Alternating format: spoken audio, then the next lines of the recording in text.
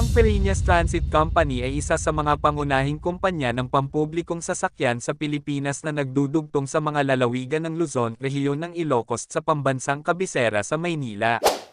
Ito ay itinatag noong 1955. Nasa 67 na taon na ito sa serbisyo.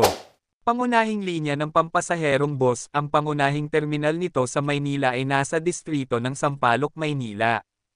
Ang kumpanya ng boss ay ipinangalan kay Federico Luna Fariñas, Sr., na pinaniniwala ang isa sa pinakamalakas na angkan sa politika sa Ilocos Norte. Ang Fariñas Transit, isang solong pagmamayari ng pamilya ay itinatag ni Yumaong Marcelo Vallejos Fariñas ng Vigan, Ilocos Sur kasama ang kanyang asawa, ang Yumaong si Rosa Peralta Luna ng Pasukin, Ilocos Norte. Apat na taon bago sumiklab ang ikalawang digmaang pandaigdig noong Desyembre taong 1941, namatay si Marcelo V. Fariñas. At ang pamamahala ng negosyo ay nahulog sa pagkontrol ng kanyang asawa at ng kanyang dalawang nasa hustong gulang na anak na sina Constate at Federico. Nang salakayin ng mga Hapones ang Ilocos Norte, sinimulan nilang i-commenday ang mga sasakyan ng gobyerno at pribadong kasama ang mga bus ng Fariñas Transportation. Nakapagtago ang nakababatang anak na si Federico sa panahon ng pag-iwas, dalawang bus sa Pidig, Ilocos Norte, sa isang liblib na bayan sa silangang bahagi ng lalawigan. Noong Marso taong 1945, sa panahon ng pagpapalaya, inilabas ni Federico ang dalawang bus na itinatago niya ng lihim sa Pidig.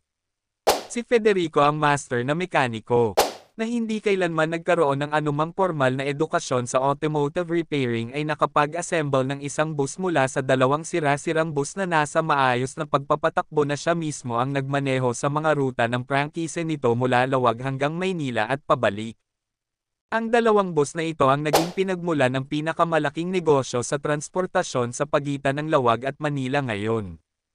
Samantala, si Constate, ang nakatatandang kapatid, ay piniling ipagpatuloy ang kanyang pag-aaral sa Maynila.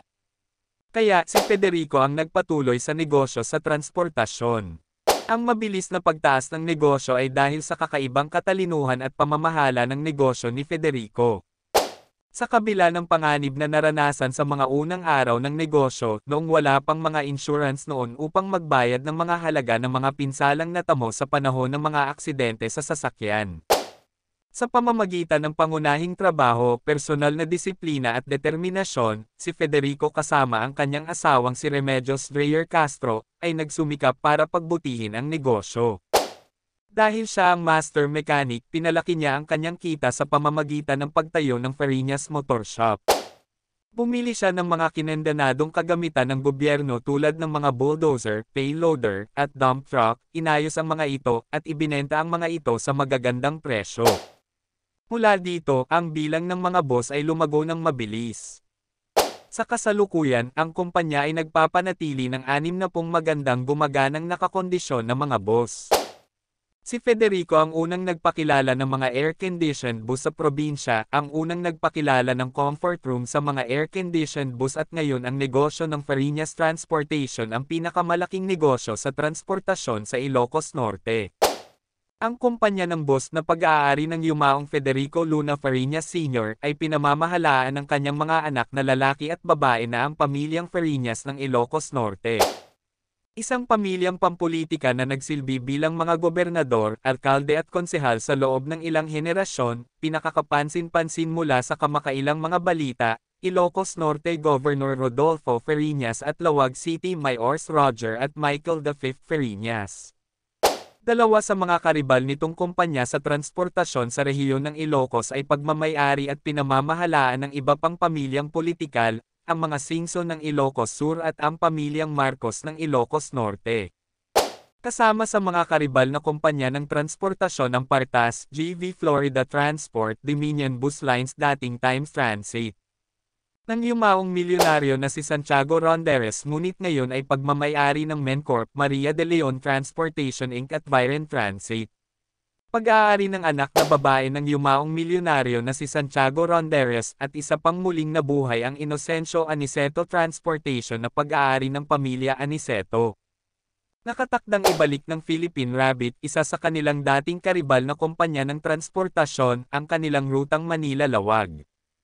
Ginagamit at pinapanatili na ngayon ng Farinas Transit ang mga brand ng Daewoo Bus King Long, Volvo at Yutong Bus.